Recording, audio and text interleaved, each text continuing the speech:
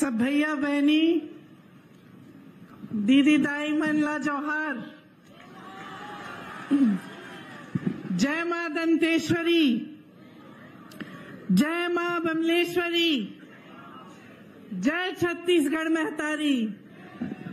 जय जौहार। उपेश बघेल जी, श्री चरणदास महंत जी। श्री ताम्रध्वज साहू जी, रविंदर चौबे जी, यशोदा वर्मा जी, हर्षिता बघेल जी, निर्मल कोसरे जी, देवेंद्र यादव जी, अरुण बोरा जी, मुकेश चंद्राकर जी, श्री प्रमोद तिवारी जी, श्री राजेश तिवारी जी, गजेंद्र ठाकरे जी, आप सबका और सभी पदाधिकारी, सभी कांग्रेस जनों का इस सभा में बहुत बहुत स्वागत। आज बुखार तो है, लेकिन आप सबको देख के खुशी ही होती है।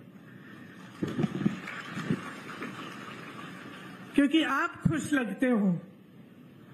दो दिन पहले मध्य प्रदेश गई थी, वहाँ की जनता खुश नहीं लगती। जब भी मैं छत्तीसगढ़ आती हूँ और संबोधित करती हूँ जनता को तो आप मुस्कुराते हुए दिखते हैं। इसका मतलब है कि यहाँ हालचाल ठीक है। है कि नहीं? अच्छे हैं। खास तौर से मेरी बहनें। देखिए, खेरागढ़ नागवंशी राजाओं की धरती है। राजा वीरेंद्र बहादुर सिंह जी और रानी पद्मावती देवी जी की कर्म भूमि है। आपको शायद मालूम होगा कि पद्मावती जी और इंदिरा जी का बहुत करीबी रिश्ता था। पद्मावती जी इलाहाबाद में उन्होंने पढ़ाई की। उसी समय इंदिरा जी से मिली थी जब वो छोटे छोटे थे। और तब से एक अच्छा उनका एक रिश्ता जुड़ा वो मित, एक मित्रता का रिश्ता जुड़ा।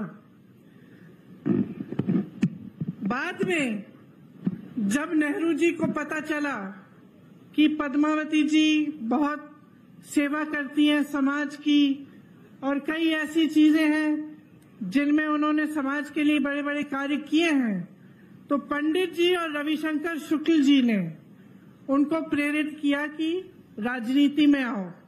और राजनीति के ज़रिए जनता की खूब अच्छी तरह से तुम सेवा कर पाओगी। तो ये एक पुराना रिश्ता है खेरागढ़ का हमारे परिवार के साथ। इसी के तहत इंदिरा संग, संगीत विश्वविद्यालय का की स्थापना हुई। और ये जो नाम इससे जुड़ा है इंदिरा का नाम ये पद्मावती जी ने अपनी बेटी को इंदिरा जी का नाम दिया और फिर विश्वविद्यालय की जब स्थापना हुई तो इंदिरा जी आए उस विश्वविद्यालय का उद्घाटन को करने के लिए। तो एक लंबा रिश्ता है, एक पुराना रिश्ता है। बघेल जी ने कांग्रेस की तरफ़ से उस रिश्ते को निभाने का काम किया। बहुत समय से आपकी मांग थी कि खैरागढ़ जिला बने आपसे बघेल जी ने ये वादा किया उपचुनाव के समय कि करेंगे और जैसे ही जैसे ही नतीजा आया, उसके तीन दिन के भीतर खैरागढ़ का नया जिला बन गया। अब जिससे पहले कि मैं लंबा भाषण